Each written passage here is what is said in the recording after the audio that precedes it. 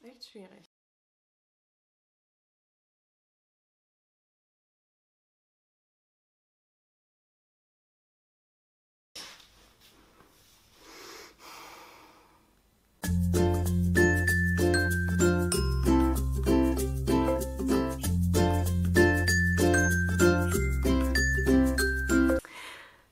Herzlich willkommen zu einem neuen Video von mir. Heute geht es wieder um Beziehung und Liebe. Das ist heute Teil 2 des Beziehungstalks. Ihr habt mir nochmal ganz, ganz viele Nachrichten und vor allem Fragen geschickt und ganz besonders interessiert euch anscheinend meine private ähm, Beziehungsgeschichte, was ich schon so alles erlebt habe. Und da werde ich jetzt aus dem Nähkästchen plaudern. Das ist ja gar keine Frage. Ähm, ja, wo fange ich an? Also ich würde sagen, bei meinem letzten Freund war es so, ähm, der war eher wie so eine Schildkröte, die man hinter der Heizung vergessen hatte ähm, und die da irgendwie so, ein, so ganz langsam festtrocknete und der so ganz langsam alles Leben entzogen wurde. Nein, nein, da muss was passieren, aber eben nicht, nicht zu viel.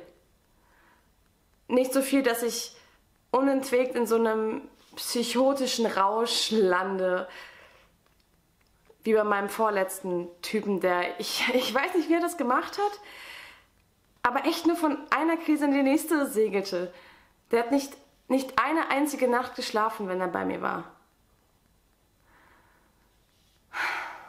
Der hatte immer so, so Angstattacken.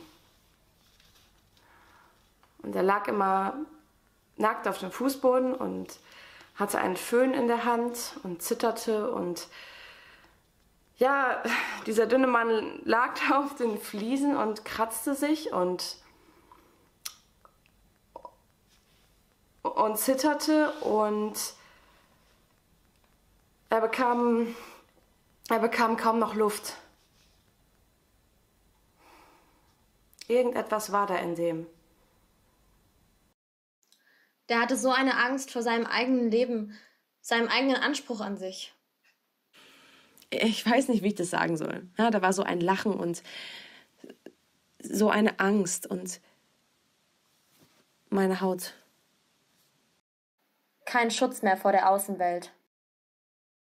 Dieses Außen ist hier in mir. Überall. Ich bin all das. Diese Angst vor dem Zusammenbruch diese Angst, alles zu verlieren. Dass das alles hier zusammenbricht und dann. Und dann was? Ich bin all das, was ich da draußen sehe und nicht aushalte. Ich will das nicht sein. Und ich kann da nicht mehr drauf gucken als etwas Fremdes. Ich bin das ja selbst. Ich bin das ja alles selbst. Und wenn das alles untergeht, dann gehe ich auch unter. Und wenn ich das da draußen alles zerstören will, dann muss ich mich selbst zerstören und ich will, muss, ich muss unbedingt doch auch mal zur Ruhe kommen. Im Rausch der Ereignisse verstehe ich nichts mehr. Und die Welt wird ein Rauschen. Ein Rauschen an Hintergrundinformationen. An Informationen, die mich von einer Bewusstlosigkeit in die nächste schocken. Ich kann nicht mehr. Ich kann nicht mehr. Ich, ich komme nicht hinterher. Manchmal möchte ich einfach nur da liegen mit dir mein iPhone an meine Bluetooth-Box anschließen, Radiohead hören und auf dem Display die Lyrics zu How to Disappear Completely aufrufen und dann den gesamten Abend mit dir aufs Display schauen und, und Arm in Arm liegen. Und dann alle Radiohead-Songs hören, die es gibt. Und gemeinsam mitsingen.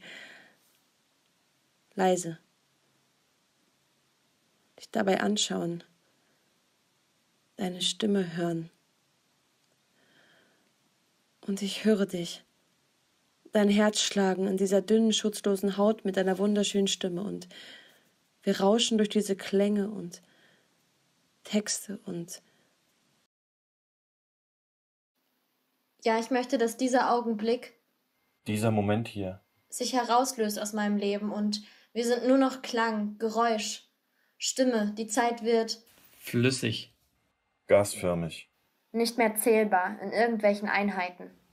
Wir sind jetzt einfach hier. Ein Universum aus Verletzungen und Wunden und Ich bin da für dich. Ich würde mich auf jeden Fall freuen, wenn ihr meine Videos abonniert, so wie immer. Und natürlich auch mal nochmal in die alten Videos reinschaut, wo wir nochmal über Beziehungen gesprochen hatten und Liebe und Freundschaft. Und dafür auch noch ein Like da lasst. Macht's gut, ihr Süßen. Tschüss.